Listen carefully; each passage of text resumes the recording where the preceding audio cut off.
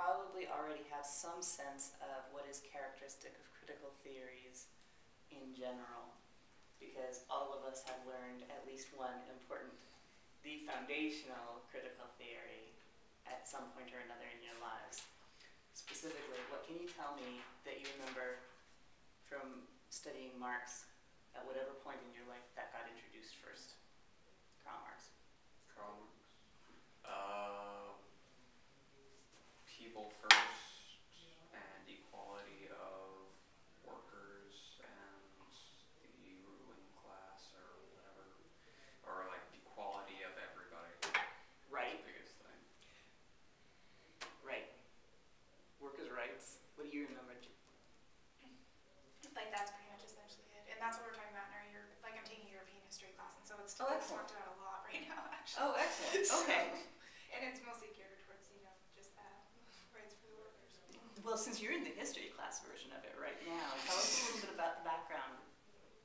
Because one of the things we've noted repeatedly with our theorists is that theory is a product of the times in which it originates, its context. So what can you tell us about the context for Marx? Like about that time that it all came out, Mhm. there were really no rights at that point for workers, and everyone was kind of looking to, I guess, not rebel, but. So one of the points important is oh. to note that this is post-industrial Yeah. Revolution. And one of the characteristics of the Industrial Revolution in theory terms is that we had a lot of theories that were produced about um, command and control, essentially. So, for example, um, the most famous example in OrgCom is Fayol, although there's several others um, writing around that same time. And, oh, and Taylor, Frederick Taylor is the other famous OrgCom theorist. And so OrgCom really gets its start around now um, with looking at ways in which to kind of maximize the efficiency of production workers. But that means a lot of work pruning the job down to its bare bones, right?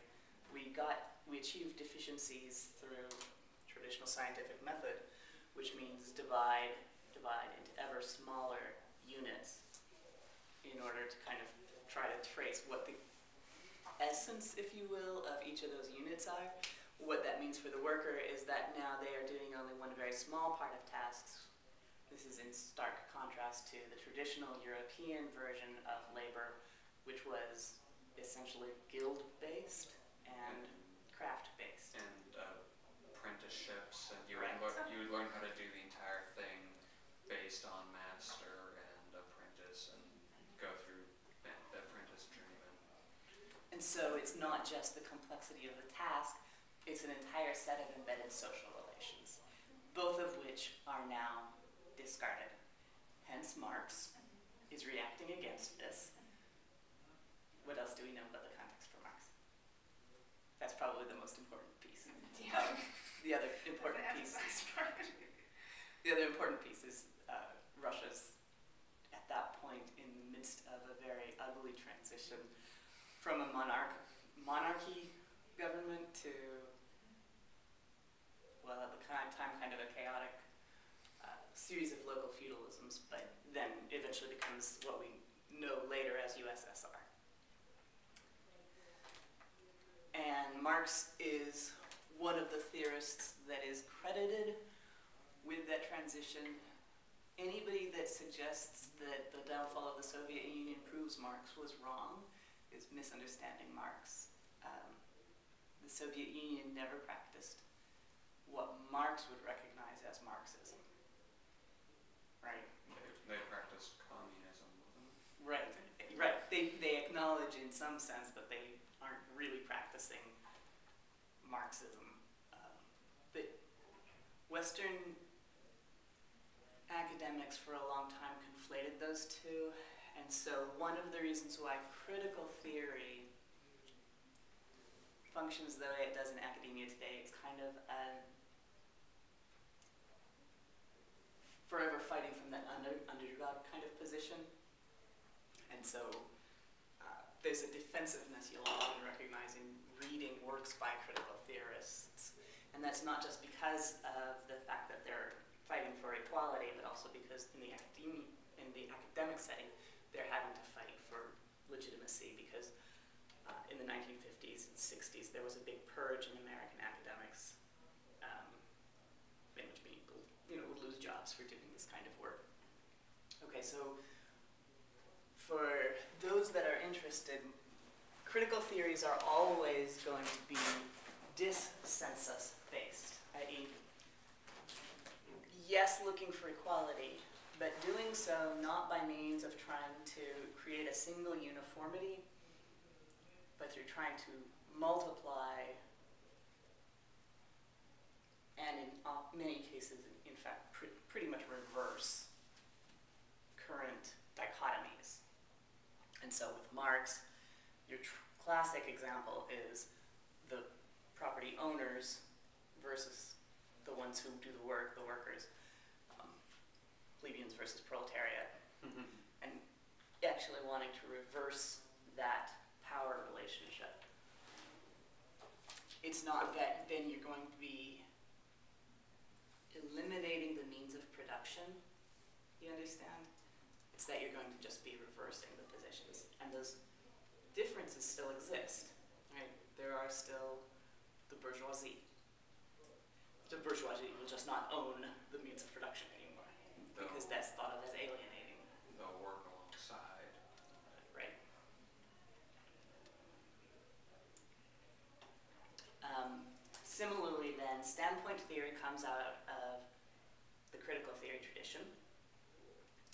And rather than thinking about it in terms of classes economically based, we're thinking about it in terms of other forms of disadvantage. So the way that it usually gets appropriated into communication discipline is almost always through the work of a theorist named Julia Wood, who is interested in gender. The ways in which uh, women function as an underclass in exactly the same way, and in which labor gets alienated. And so the production of work, such as reproductive work,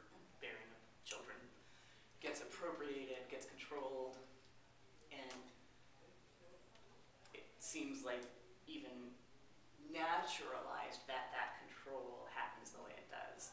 Right? And so, classic example of abortion debates. And I don't know where anybody falls on those. Um, but certainly it's an example of the ways in which the ec- mechanisms of power alienate from the biological basis of power. Right? Okay. As long as we're not going to have arguments about that. Um, in the workforce, similarly, um, we talk about things like pink collar jobs and pink collar ghettos. There are certain forms of labor that become female dominated via one historical mechanism or another. There are no fields of labor that have always been historically gendered the way that they are today. It often seems natural to us that nursing, for example, is women's work, and that, as you know, the nursing field is, I think, something like 90%, 95% even, women. Um, I would not be the one to. Wait, We can Google it if we, if we, get, if we get a chance later. Um, it's hugely female dominated at any rate. Today think of that as natural, as though somehow there's an essence of woman that is all about caring and providing support, emotional as well as physical and medical, right? But historically, that was never true. And there's some sense in which that career gets ghettoized as it attracts more female laborers you didn't get this glut of workers at, for a while. And so salaries are going to drop, basic supply demand economics, right? Yeah. Those salaries then are more in line with what women make in other places. In fact, actually, they're a lot higher than most other careers that are female dominated. Right? Greater level of professionalization. Um, today, of course, there's also, we've got a little bit of a reversal of that supply demand economics going on. I, it's become so strongly gendered that it's actually hard to get men into that line of work. And so salaries have crept up a bit because of that pink collar effect. Nevertheless, the pink collar effect means that the nursing salaries, especially relative to other medical positions, suddenly started dropping right around the time that you get a lot of entry into that line of work for women. Whether this is a causation versus correlation argument, do you know what I mean about that? Whether this is correlation might be Yeah, argued. it, it's like correlation between video games and acts of violence. Right. Like they, we've seen an increase in both in both, Right. but who Do knows you whether or not it's the cause. So we can make an argument that the pink collar effect is not the cause of that ghettoization. Nevertheless, we can see it in a lot of other cases as well, historically. Uh, when teaching became a female-dominated profession back in 1850s, 1870s, it had prior to that been almost exclusively male. Indeed, there was a time period during which it was considered scandalous for a female to teach a mixed class. So, female could teach, lead a sewing circle, for example, that was appropriate form of teaching, but was not allowed to teach a group that's mixed. Okay, right around the 1850s to 1870s, that started changing, again because of war demand. So it's a lot of supply-demand economics, right? I, we did not have enough men that survived the Civil War. We just, we could not leave that profession.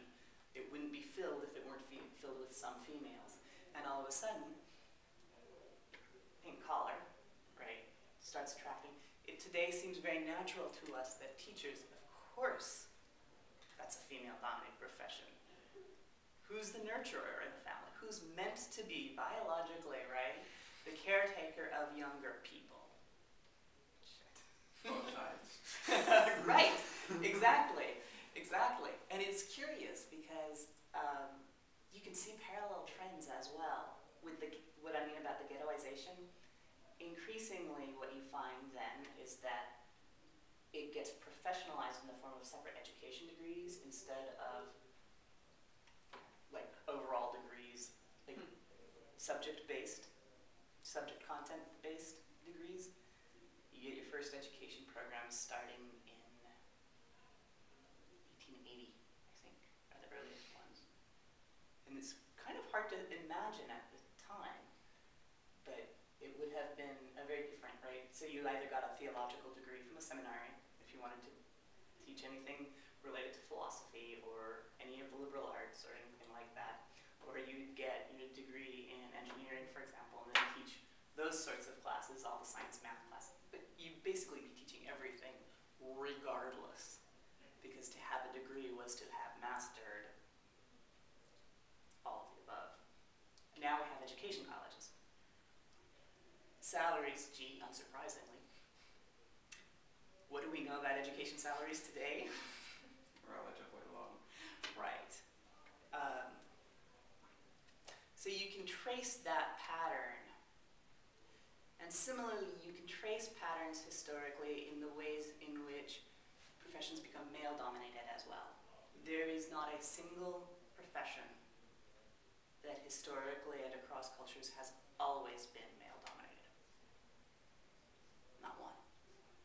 We think of things like agriculture for today, but you know, historically, a lot of cultures, the farming was done by women and the men were out hunting or trading Mm. more often, right, as civilizations evolved. Um, we think of things like um, science, which is the big one today, right? And you get comments from heads of Harvard University saying that this has some biological basis, right? Again, naturalizing as though the Western standard today has some kind of inevitability to it, is a natural order of things. Uh, But in fact, in most other cultures, including, by the way, Russia, science was not so male dominated. and indeed in places that have more socialist economies, more controlled economies, uh, they still are often 50-50. So the in which science becomes this strongly gendered, we can still see the outcomes today. I don't. You can't see it so much if you measure sciences across the board, because biology is by far the largest single science that we have. Um, and biology has, I think, managed about a 50-50 split at this point. Indeed, if not, it's actually maybe 60-40 split like for in terms of majors or in terms of the gender of, of majors. gen- Not in terms of the gender of the, you know, very high end positions. You're Yeah. right. You're right. There you still see a split. But that's as much about time as it is about the structure of the discipline itself, arguably. Not necessarily true. Um, and indeed, certainly it's a very long lag. If you want to make an argument that it's time based, I because in previous generations this was true. Um, the norm shifts slower than the actual generations if we define generations in terms of 20 years, which is typically how we do define generations, right? That's no longer true, but that's when when we used to make breaks between like the generation X versus generation Y. Yeah, Generation Y like started mid '80s, wasn't it, or something Mhm. like that? Yeah, I think so. Mid '80s to like 2000s. 2005. Yeah. And so roughly a 20 year span. Others of the sciences are even more resistant to change, and the hardest case usually is thought of as physics, where you still have roughly a 10% participation from women. The surprising thing is that usually the arguments made as to why this is natural and inevitable that fewer women go into physics than into, for example, biology, and why this is the one that lags behind so hard, is often based on math, right? That women aren't good in thinking in, good at thinking in 3D, and that they're not good at the abstract math problems. Given that argument for why this is natural and inevitable, what's your first hypothesis going to be then? If that's what's happening as to gender discrimination, where would we look to test that? Uh, amount of time practicing math versus Good, or versus like scores and grades. good, good. So one thing we would want to test, yes, is where does this, if there is this difference, where does this difference start appearing? Sure doesn't start appearing magically in, you know, your junior year of college, which is when you lose most of the physics majors. Yeah. Well, If we trace it historically back, though, women's scores at the SAT in math are on average higher right now. So it can't be that. What else would you look at to test that hypothesis? Would we be able to look across cultures as well? Yeah, good, good. And so see which of, if, if the French, for example, and the Russians, and numerous other cultures actually, are able to have roughly 50-50 representation, is it that the women are going into less mathy subsets of physics? Or that Or they're that they're somehow- socialized not to? Right. So that, are they getting extra tutoring in math going up through? But the other one that you might be overlooking as too obvious. If I'm hypothesizing, if I'm making an argument that it's natural and inevitable because of math skills and 3D abstraction, what happens with math as a major? It it kind of just disappears because a lot of it is 2D about it as Well, that's true.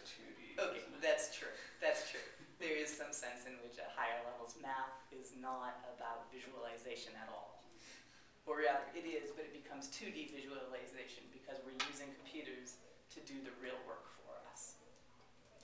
Fair enough.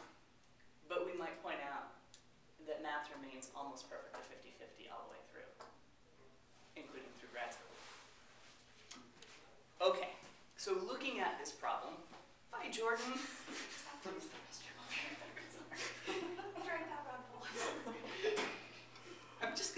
going for the camera, nothing else. All right, so looking at this problem, then Sandra Harding, who is the originator of the term standpoint theory.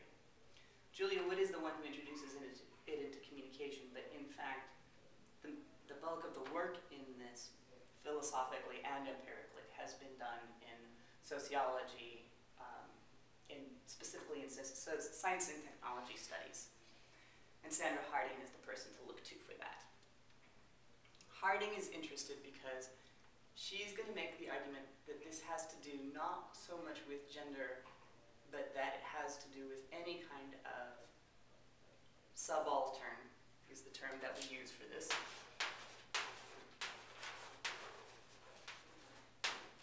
Subaltern identities. So, minority identities, in terms of race, it can be based on economic class. Gender is also one source of subaltern identities. Um,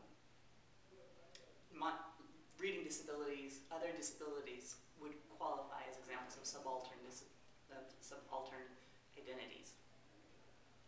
And her argument is that, in fact, the best knowledge comes from the perspective of the margins, i.e., these subaltern identities. That what you most want, if you want to improve knowledge and improve knowledge production, which is what we think science is all about, the way to do that is to look at it, study it from the perspective of subaltern identities. And Harding has some great examples that she pulls from both history and today. One of the most telling is that if you look at Nobel Prizes, for example, right, kind of the pinnacle of successful knowledge almost all physics prizes, physics Nobel Prizes, are given to individuals who are outside of the system in some way or another. Your classic example is Einstein. What do we remember about Einstein? Dropped out of elementary school, wasn't it? Mhm. Or elementary school or high school? High school. Um, Okay. but so did not finish any advanced degrees. What else do we notice? That's okay. Our European history will catch up with that eventually. Um, Jewish. And so religious minority, which is actually really relevant at that time in Europe. Also, during the years in which he was actually producing the work that eventually wins Nobel Prizes, he put together the foremost critical papers all in a single year, 1904, when he was working as a patent clerk, not a research scientist. And the argument is that it's not coincidental. Harding's point is that going through the professional power structures, the professional hierarchies have a vested interest in defending the theories that they've come up with. And that they believe is true. Right. And so if you want to test knowledge claims, if you want to come up with anything new in science, you're going to have to look at it from the perspective of the margins because the vested interests are too vested. And so we find lots of examples. Most of the prizes are for work that was done very, very early in career, like start of grad school early, a not yet fully professionalized into the norms of the discipline. And while the work obviously gets continued past that point, and it's often, you know, long gaps between when the work was done and when the Nobel Prize is awarded, and when we recognize it for the value that that knowledge is. Um, nevertheless, you can almost always identify. It's also, for example, often scientists who are coming in from different cultures, India, for example, uh, or coming in from economically disadvantaged backgrounds.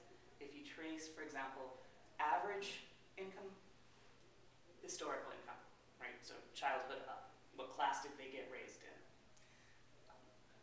For most scientists, it's relatively middle to upper, uh, but with your Nobel physicists, it's markedly different, much lower, typically, historically.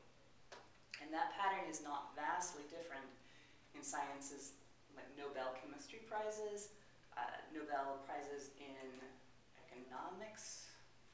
Yeah, so like the economics ones, you can also see a lot of examples. The one from Africa most recently, uh, minority women planting trees Uh, as an economic uh, invention, if you will, new knowledge. Hmm. Returning to the very, very old, right? If you want to have better agriculture, plant trees. we lost that somewhere along the line, though. we lose everything somewhere along the line. Mm-hmm. Like, That's why everything that seems new is actually old. So, she's making a pretty strong claim then that what we need for knowledge production is to deliberately privilege these minority, these mar- marginalized identities. Um, you can see it in practice getting done in a lot of different places. So, for example, mo- much of the brain research today includes people on the teams that are affected by brain differences. So, for example, I have a student who was pretty seriously autistic and is now part of a team studying treatments for different ways of um, chemical treatments for brains that are autistic. So there's a lot of places where we can see this working really nicely. What's problematic about this argument that Harding is? Where would you critique that argument?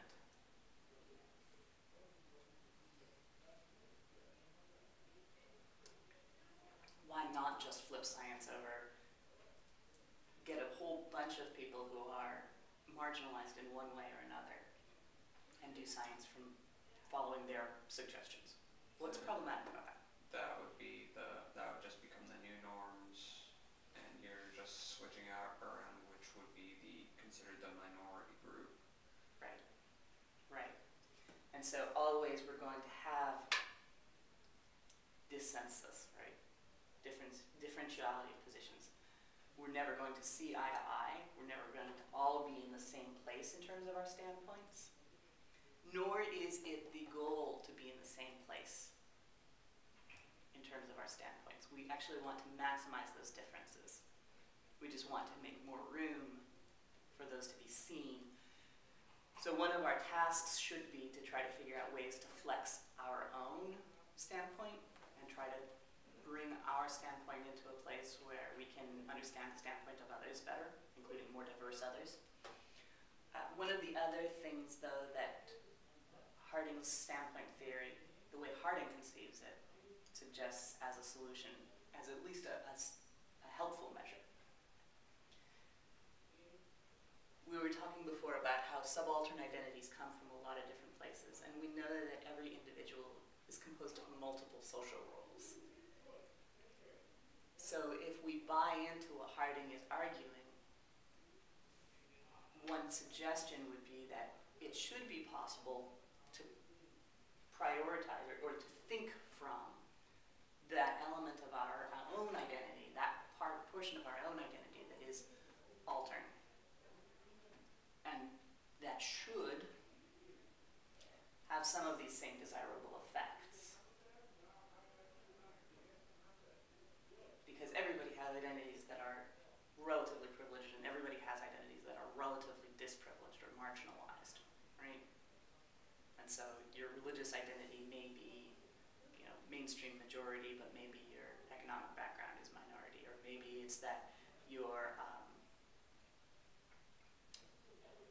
personality, right? Invert, introvert versus extrovert. Maybe that's what puts you in a marginalized position, and thinking through life from that perspective will help with getting out of, you know, the hierarchies and boxes that, that are social norms right now. At least that would be the argument. We would still never expect to be able to achieve agreement. There's no reason to think that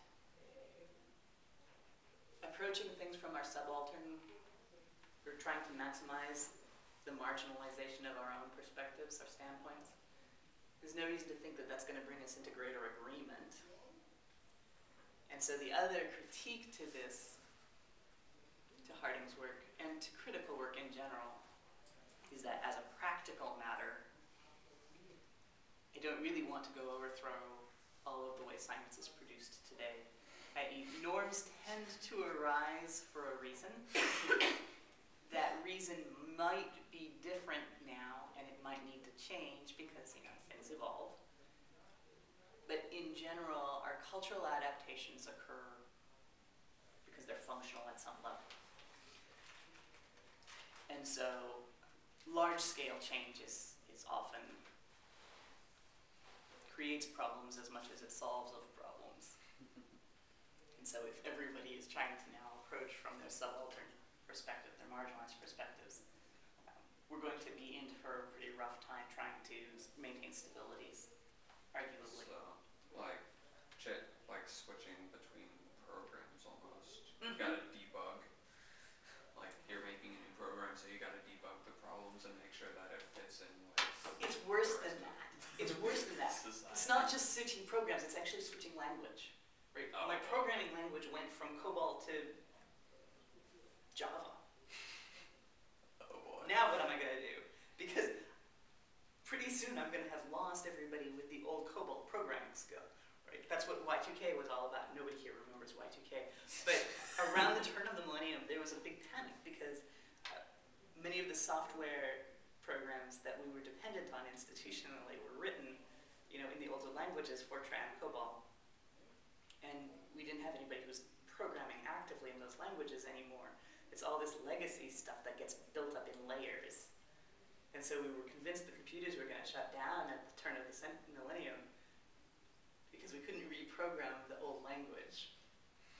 And it wasn't set up to handle the change in first two digits. It could only handle changing last two digits of year. As it turned out, it was not such a big thing, but there was a lot of money that got, um, I'm not going to say wasted. All of a sudden, uh, we had a lot of old programmers being dragged out to try to train up very quickly the young programmers who were familiar with the newer languages and try to reacquaint them with the older languages, having lost our sense of history terms of the programming. And, and so it becomes institutionalized in that way. So we could have achieved certainly more efficient ways to go about that changeover. How does this apply to communication then? Well, one of the ways it applies to communication is that it asks us to be sensitive about institutional economic norms in things like media. And if you follow critical discourses at all, you're probably aware already of the ways in which media conglomerates are increasingly centralized, right? There's like four big companies now, aren't there? Right. Exactly. And so, while it looks like you have a lot of diversity in your television programming thanks to cable, in point of fact, there's very little difference. Similar with radio. Radio is a curious, curious technology because in its infancy, it was an exceedingly democratic means of communication, i.e., what you had was ham radio operators oftentimes the people doing the radio operating were the ones who built, right? And so there's this whole hobbyist approach where everybody is their own inventor. And the means of production are entirely within this social network, right? Okay, today radio obviously doesn't operate that way. It's a mass medium. Uh, you have a grand total of pretty much one radio station owner, Clear Channel, that does different formats. And so the fact that you have, what, 10 radio stations in town, it looks like? Uh, I'm not sure. You've got 103.9 and 95 point whatever. Yeah. So you've got about 10. It's been a while since I've listened to radio. You've got a grand total of two owners, Clear Channel and Public Radio, KUAC, which is a nonprofit operated through UAF. And so critical theory, Harding would suggest that we would expect to find differences in terms of, for example, the role of advertising, the kinds of things that get said on the news, on the radio stations. Um, it would be not surprising that the only one where there's any sense of a public voice anymore is the one that's a nonprofit, right? And so for remote communities, where radio still functions much more on an older model, right, with call-ins, and the, you'll have entire, the bulk of your programming on some of these channels will actually be call-ins, right? Calling to wish a happy birthday to somebody who lives in a different town, to say, I have for sale this, because that's your primary means of communication. It's not so much mass comm as it is So like social. inter, yeah, exactly. It's filling every communicative niche, both interpersonal, organizational, and mass, right? And it's probably unsurprising that that's not commercial. Similarly, we would ask to look at things like education with a pretty critical eye. What is it that we are, we've, we've got these new Common Core standards, right? What do we know about Common Core standards for education? Nothing. Okay. okay. It, it, it's been like what? Depending on how long. Well, I got. I went to a private school. That's A, true. And so you were And- never really part And of I that. don't know. Like it's been at least three years since Yeah. I've been in any. Well, but Common Core standards isn't isn't something you would have from going up through the system. It's the big change that they're trying to talk about now, and so it's a perspective change, something that they're they say they're going to introduce into school systems, and something like initially 38 states had signed off on this. Um, many of those states have now backtracked, so it's not clear where Common Core is going at this point. But we would certainly be asked. Harding's standpoint theory suggests to us to look pretty critically and say, okay, who are the winners and who are the losers under this Common Core standardization? Indeed, in any standardization move, there are going to be winners and losers, relatively speaking. And so to look critically at what are the standpoints that we're ruling out as possibilities, essentially. What do we lose? Like all of us by eliminating these margins. Does that make sense? And it's not just about race. The Common Core standards are created essentially by business interests. And so, in doing that, what do we lose in terms of civic interests, for example? Does that make sense? No. It's No. well.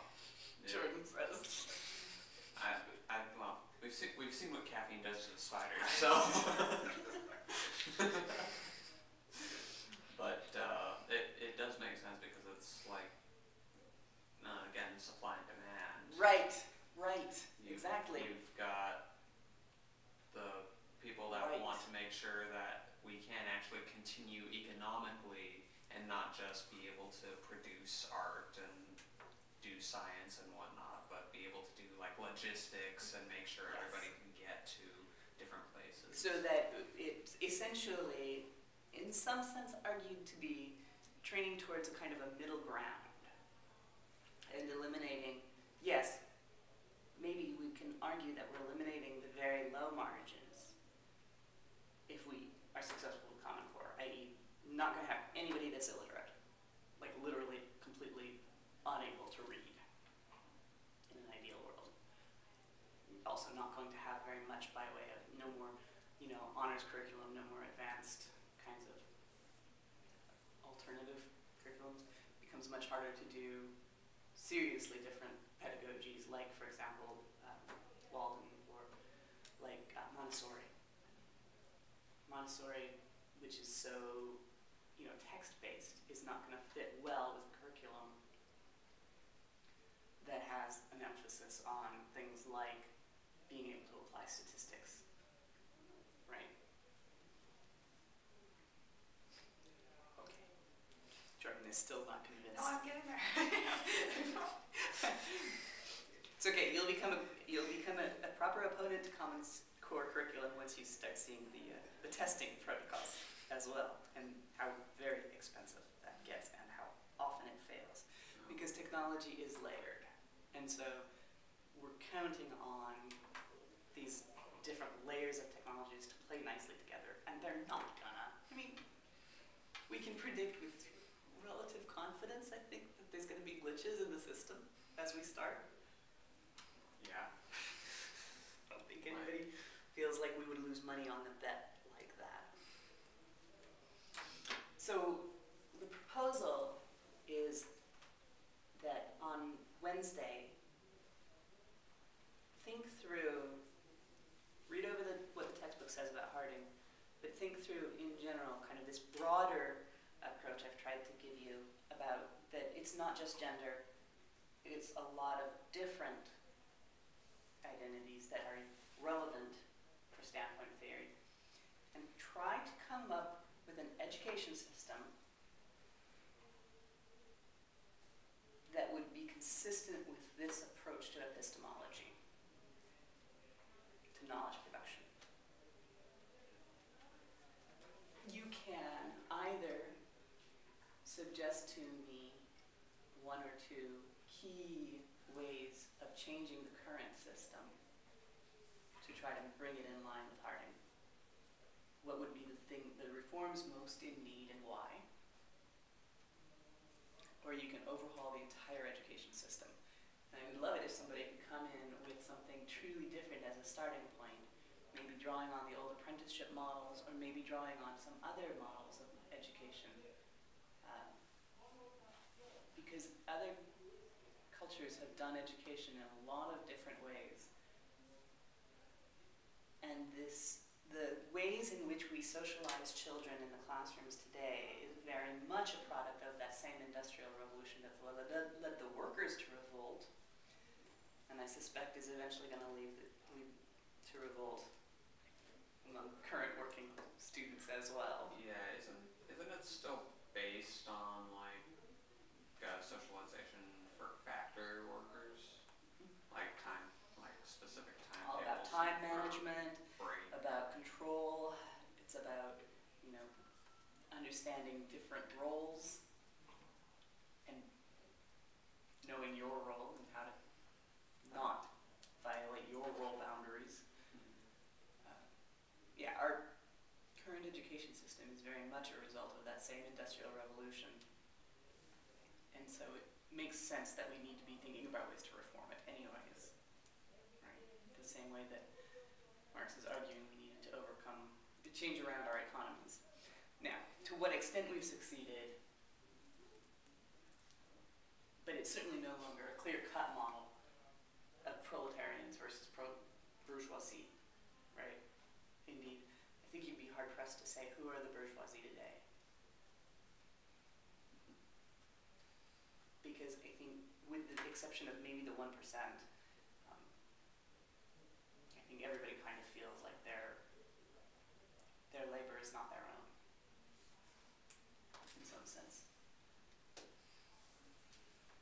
Um, e- even the, even the one percent, it depends on how they got there. Yeah, I'm sure. I, I've never known anybody who's anywhere close to the one percent, and so I've never gotten a chance to ask or hear them talk about the ways in which it still feels alienating.